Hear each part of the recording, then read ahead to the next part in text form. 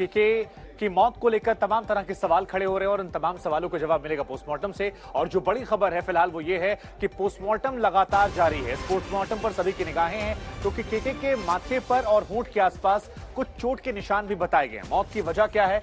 FIR दर्ज कर ली गई है आकस्मिक मौत को लेकर। लेकिन इस पूरे मामले में पोस्टमार्टम रिपोर्ट बहुत ज़्यादा महत्वपूर्ण हो जाती है। बीजेपी कांग्रेस इन सबने सवाल उठाए हैं और ये कहा है कि मामले की जाँच की जाए ताकि ये पता लग सके कि मौत की असल वजह क्या थी। लेकिन इन सब के बीच में ये बताया जा रहा है कि शाम पाँच बजकर पैंतालीस मिनट पर फ़्लाइट से लाया जाएगा मुंबई उनका शव और फ़िलहाल कोलकाता के अस्पताल में उनका पोस्टमार्टम जारी है।